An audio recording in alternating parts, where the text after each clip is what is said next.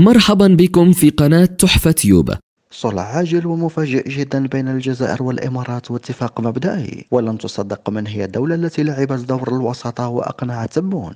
فمن هو هذا الشخص الذي دخل بين تبون وبن زايد؟ وماذا حدث مجددا وجعل الأمور تستقيم سريعا بعد رسالة الرئيس تبون. مع خطة عالية الدقة ومحللون يكشفون السر. بداية وبعد كل التجاذبات الأخيرة والأزمة في العلاقات الجزائرية الإماراتية ظهر صلح مفاجئ وعودة للتواصل والعلاقات بشكل غير متوقع كليا. ليظهر جليا أن الرئيس تبون له خطة ومسار أحسن من تأزيم العلاقات أكثر.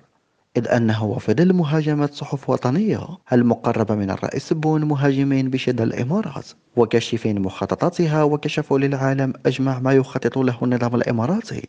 حتى بالكشف عن كون الإمارات تحاول جر دول لتطبيع مقابل المال وغيرها من المعلومات حتى عن التآمر على الجزائر ومحاولة عزلها. إلا أنه وفي ظل كل هذا اللغط الحاصل وتجاذبات وتأزم العلاقات فاجأ الرئيس تبون الجميع بمبادرة وبعث رسالة نصية إلى رئيس الإمارات بن زايد.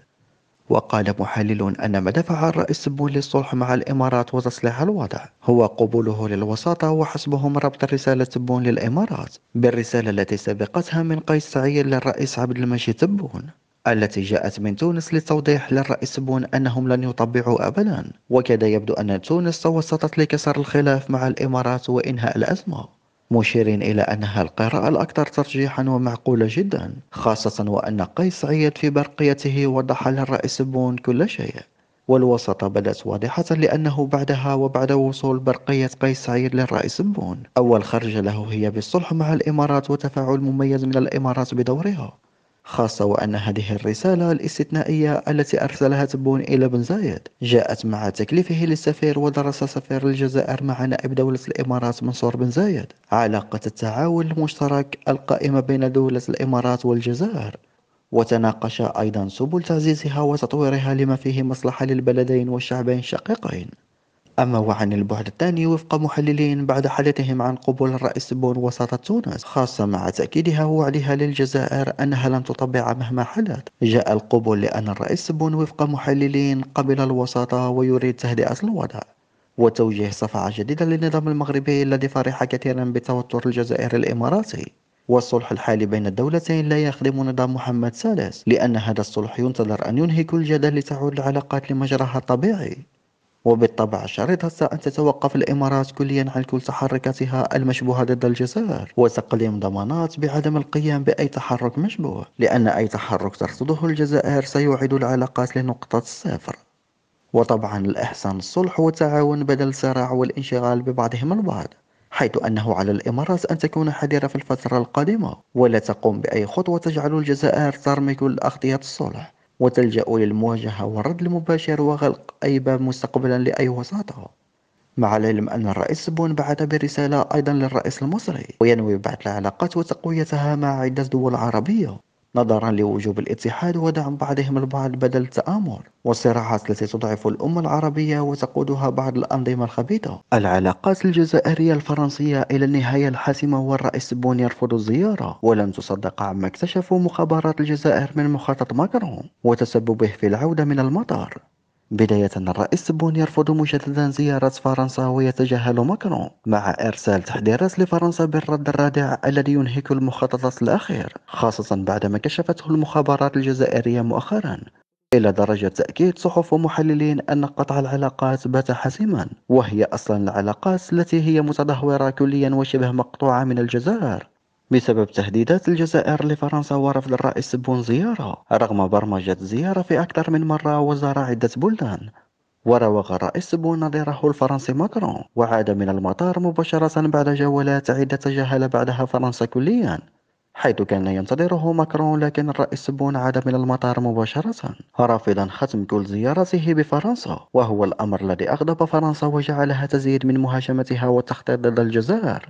خاصة وأن الجزائر تسير لعزل فرنسا كليا ليس في الجزائر فقط بل حتى في إفريقيا كما أن الشعب الجزائري رحب بخيار قطع العلاقات مع فرنسا. على إثر حديث صحف عربية وأجنبية عن الأمر خاصة بعد اكتشاف الجزائر وكشف المخابرات الجزائرية وبدقة عالية والتفاصيل كل مخططات فرنسا المثبتة بالأدلة ولا مجال لماكرون أمامها. خاصة وأن فرنسا هاجت بالمخططات ضد الجزائر منذ رفض تبون زيارتهم وإعادته لجزء النشيد الذي يتوعد فيه فرنسا بالمحاسبة. وأصلا ماكرون لو زار الجزائر سيتم إسماعه لذلك الجزء وإدلاله وحتى إن زار الرئيس تبون قد يطلب عزف ذلك النشيد. فالخرجات كلها من الجزائر لم يكن يتوقعها ماكرون وجعلته يتصرف بجنون. ومؤخرا الجزائر أطلقت ردودا قوية على فرنسا وكشفت للعالم مخططاتها الدنيئة آخرها لجوء فرنسا إلى بيادقها الإعلامية لزرع الفوضى. في لعبة باريسية مكشوفة لزعزعة استقرار القارة الإفريقية وقائدتها الجزائر. في حصة خاصة بثتها القناة الإذاعية الأولى مجددا. وتناولت السقطة الجديدة للإعلام الفرنسي ممثلا في قناة فرانس 24 أبرز الدكتور رابح العروسي أن فرنسا تلجأ إلى بيادقها الإعلامية لتضليل وزرع الفوضى وقذف سهام الحقد والغل اتجاه الجزائر وإفريقيا. وليست هذه المرة الأولى التي تتهجم فيها فرانس 24 على الجزائر. ففي فترة الوباء سابقا حاولت تشويه الحقائق وتضخيم الأحداث والشيء نفسه مارسته في تعاطيها الإعلامي مع ملف حرائق الغابات والذي كان مختلفا عن الدول الأخرى. حيث حرصت على تقديم أخبار زائفة وكاذبة لتغليط الشعب الجزائري وباقي الشعوب وحتى لمحاولة تهيئ الشعب الجزائري وخلق التدمر بينهم. فالدول الإفريقية مطالبة اليوم على اختلاف لغاتها ودياناتها بالتوحد في وجه كل من يحاول طمس هويتها وزرع الفتن وسط شعوبها والتربص بأمنها السياسي والاقتصادي. مشيرين إلى التعويل على قيادة الجزائر للقارة السمراء نحو مستقبل أفضل للأفارقة بعيدا عن الهيمنة الفرنسية وحلب خيرات إفريقيا. خطوة مفاجئة من الرئيس تبون تصنع الحدث في الصحافة الأجنبية. وكيف رفض التجول في شوارع فرنسا والتحية على الحرس الجمهوري؟ وماكرون في ورطة والزيارة فاردة من نوعها وتخلط حساباتهم كليا. بداية فاجأ الرئيس عبد المجيد تبون الجميع بخرجته الأخيرة حول زيارته إلى فرنسا وتأكيده أنه كان معلقا للزيارة إلى أجل غير مسمى لعدة اعتبارات وأسباب وضروريات كان لابد منها. فالجزائر وضعت الأولوية لعدة دول على فرنسا. أما وبعد أن وضع الرئيس تبون شروطه وتعليقها وترك ماكرون ينتظر كل يوم. وأكد الرئيس تبون أنه يرفض أن تكون الزيارة كما يراد لها أن تكون من بعض الجهات ومحاولة إخفاء العديد من الوقائع ومواقف الجزائر حيث عبر الرئيس تبون عن رفضه لأن تتحول زيارة دولة إلى مجرد زيارة استعراضية يتجول فيها في بعض الشوارع الفرنسية الشهيرة مثل الشانزليزيه ويتلقى تحية من الحرس الجمهوري الفرنسي. فيما بدا وجود خلاف بين الطرفين حول أجندة هذه الزيارة التي أسالت الحبر الكثير.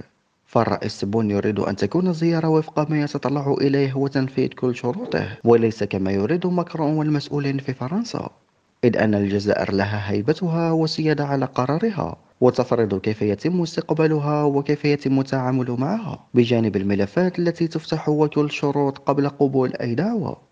الصحافة الفرنسية بدوا مصدومين من تصريحات الرئيس بون وشروطه